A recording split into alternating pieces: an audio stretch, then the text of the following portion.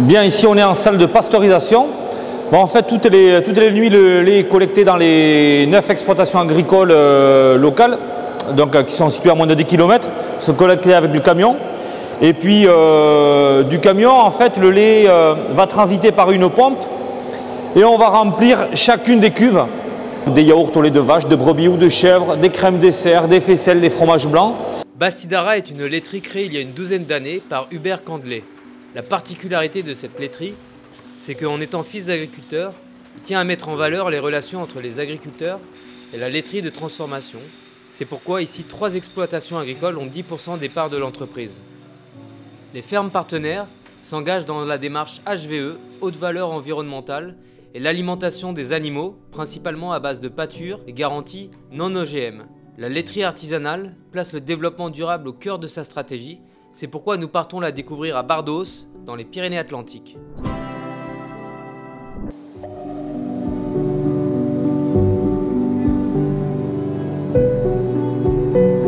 Donc euh, on réceptionne le lait issu des fermes de nos producteurs, on le pasteurise. Avant pasteurisation, on contrôle la conformité du lait, donc euh, qu'il soit bien apte à être fabriqué.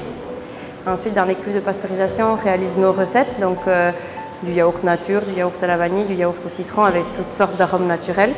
On peut également faire euh, divers produits, donc soit des yaourts étuvés, le yaourt classique que vous connaissez, ou alors du fromage blanc ou des faisselles. Une fois qu'on a pasteurisé, préparé nos recettes, on envoie nos yaourts en conditionnement. Donc euh, notre recette, elle part en conditionnement sur les machines et on peut y faire soit des pots en carton, soit des pots en verre. Donc on a l'intégralité de nos emballages qui sont recyclables et ensuite euh, nos pots de yaourt ils passent sur la partie emballage et là on vient les conditionner par deux, par quatre pour les étiquettes. Puis on les met en carton et ensuite ça part en expédition.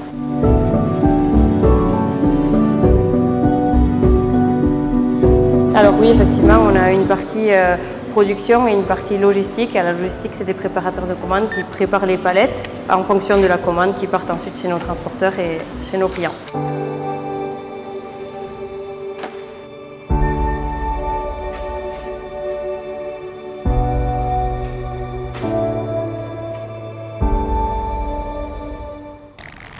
Aujourd'hui, on travaille euh, au bout de 12 ans avec 10 euh, exploitations agricoles, 3 exploitations producteurs de lait de vache, 5 exploitations productrices de lait de brebis et 2 exploitations productrices de lait de chèvre. Les 10 exploitations sont situées à 10-15 km de la laiterie sur les communes de Bardos, la Bastide Clérance, Asparin. Nous avons jugé important euh, de mettre un accent particulier sur la partie environnementale donc en faisant progresser sur ce point-là les exploitations agricoles. À ce jour, toutes les exploitations agricoles sont labellisées HVE, haute valeur environnementale, c'est de l'agriculture raisonnée. Pas d'OGM pour euh, l'alimentation des animaux. On travaille plus particulièrement à l'autonomie alimentaire au sein de chaque ferme. Aujourd'hui, elle est euh, au-delà de 80, voire 85% euh, pour les fermes. Également, il y a même une exploitation agricole qui est certifiée depuis euh, l'année dernière sur un label de bien-être animal qui est Happy Farmer. Il s'agit de la ferme Couture. Et nous sommes en train d'innover puisque nous devrions avoir une exploitation agricole qui soit la première, qui soit labellisée euh, Happy Sheep, donc euh, bien-être animal, mais sur la brebis. Donc ça devrait être en 2023. Donc depuis le départ ici, l'idée c'est de travailler donc euh, sur la pérennisation de notre modèle et la valorisation. Donc apporter de la valeur aux entités qui composent euh, la filière. Donc on parle vraiment d'une filière qui va de l'exploitation agricole jusqu'au grossiste, au logisticien, voire même au distributeur. Chaque maillon de la chaîne doit euh, voir son travail valorisé. Donc nous avons travaillé sur une rémunération entre guillemets juste euh, de, la production laitière et ça, depuis une douzaine d'années. Nous nous engageons, nous, aujourd'hui, à, rémunérer euh, au juste prix les producteurs de lait. Pour preuve, aujourd'hui, sur 10 exploitations agricoles, 5 d'entre elles ont des euh, producteurs, ont des chefs d'exploitation qui ont moins de 30 ans. Donc notre modèle sera pérenne que s'il y a derrière nous, en amont, des exploitations agricoles qui soient solides et pérennes.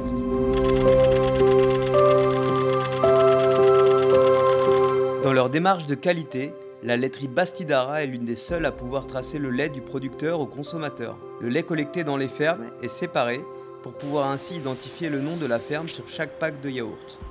Voyons maintenant comment sont distribués les yaourts et pour quel destinataire. C'est Kevin Luc, le responsable commercial, qui nous explique cela.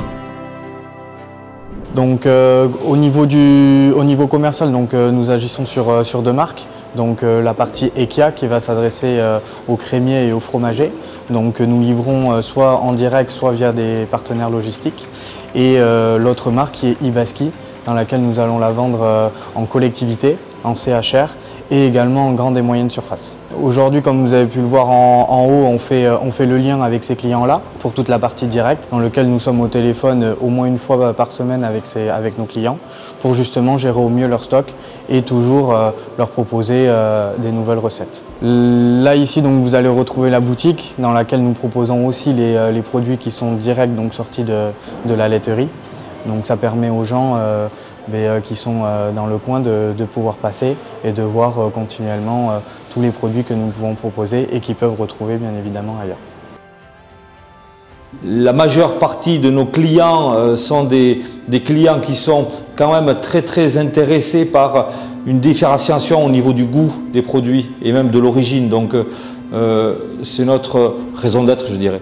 Une traçabilité du produit, une valorisation des fermes partenaires, des producteurs respectueux du bien-être animal, des emballages recyclables, c'est ça une laiterie responsable engagée dans le monde de demain.